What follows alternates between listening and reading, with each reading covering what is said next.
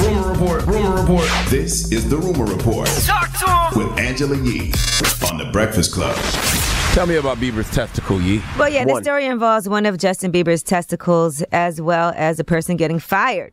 Now, the person who was fired is Kelly Lombardo. She worked at the hospital where Justin Bieber went to the ER, and it was alleged that she actually accessed his medical files illegally in one of the computers because there were rumors that he went to the hospital because he had an STD. Well, it turns out he went to the hospital because he was playing soccer and suffered a painful injury in which he thought one of his testicles had been twisted. Oh my goodness.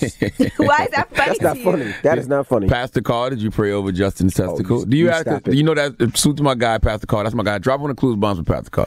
You know that's Justin's pastor. Do you ask your pastor to pray over your testicle when something like that happens? Well, the doctor did examine him and realized all he had was a swollen testicle. I'm sure that's still very painful. So that's when he left the ER and went about his life. Now, Kelly Lombardo was saying she was fired wrongfully just because she never accessed any type of file. She just was going by the rumors that she heard, which was that he was admitted for an STD, which a lot of people heard. So, what do you mean? So she went, she heard that rumor and did what with it?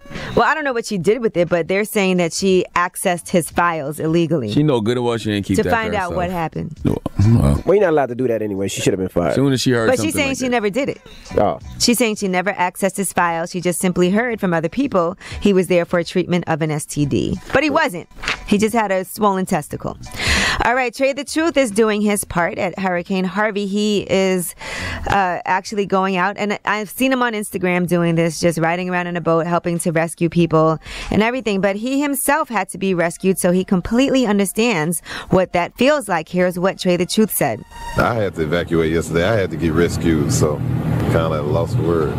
I felt helpless yesterday when I had to be rescued, so I know that feeling. And um, we got access to a boat. We got the trucks. Let's get out there. So, you know, we, we went yesterday to the site where the National Guard was. We slept out there all night waiting for uh, calls, and then we got up probably like five or six this morning. That's what we've been doing. The clues bombs with Trae Tha Truth. I've been uh I've been texting back and forth with my guy Trae Tha Truth a couple times this week because you know when it comes to donating money and giving resources and stuff like that, like I always want to make sure that, that what I give goes directly to the people. So I want to talk. I want to talk to people who are in the field all the time. So I talk to people like Trae Tha Truth and J. Prince and ask them where to send your your, your resources. Well, yeah, shout out to well. Trae Tha Truth. He also got the key to the city recently, so shout out to him.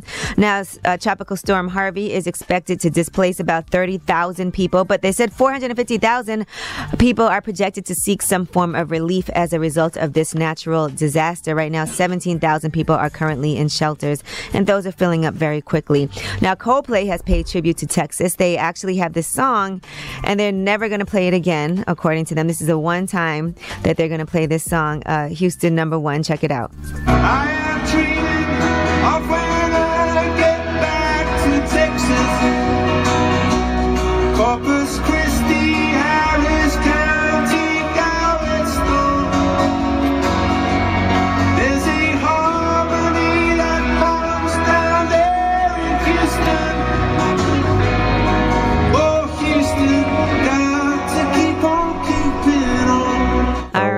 Right, there you have it. And just if you're interested, Lil B is offering free guest features to Houston artists affected by Hurricane Harvey. I don't know how I feel about that, but I guess you give what you can, right? And then I, I was looking and I saw people actually excited about it. I would think that you would want immediate resources, stuff that you could actually use right now, like food It's and good water. for your spirits, though. Maybe if you're That's what I was thinking too. I was thinking that too. Maybe it's good for It's a silver spirit. lining for someone. and it's something that'll last long after, you know, things All right, get well- cleaned up. Maybe. That is your rumor report.